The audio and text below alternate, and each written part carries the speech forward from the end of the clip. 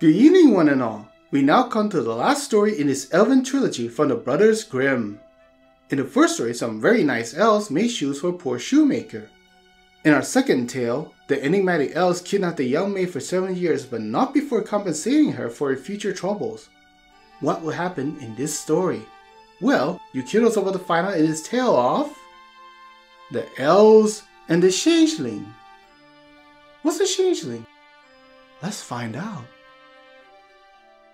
A certain mother's child had been taken away out of his cradle by the elves, and a changeling with a large head and staring eyes which do nothing but eat and drink lay in his place. In her trouble, she went to her neighbor and asked her advice.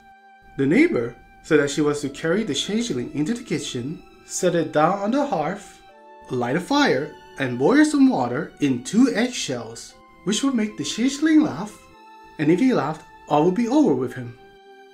The woman did everything that her neighbor bade her. When she put the eggshells with water on the fire, the imp said, I'm as old now as a witch the forest, but never yet have I seen anyone boil anything in an eggshell. and he began to laugh at it.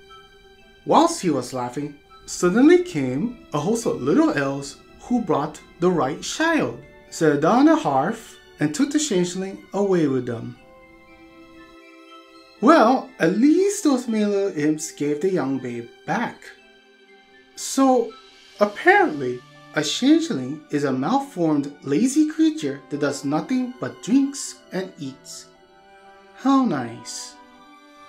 As discussed before, modern elves are shown as elegant and noble thanks to Tolkien. But back in Europe centuries ago, these tiny men and women were anything but. These stories are meant to reflect the unpredictability and danger not only inherent in the natural world itself but also in everyday social interactions too. Much like us, the elves have agency and they can easily choose whether to help or harm, sometimes without any justification. The uncertainty and danger of real life is very much reflected in these age old tales. As such, centuries later, these stories still make for good bedtime reads provide good lessons to learn, and serve as useful cautionary tales.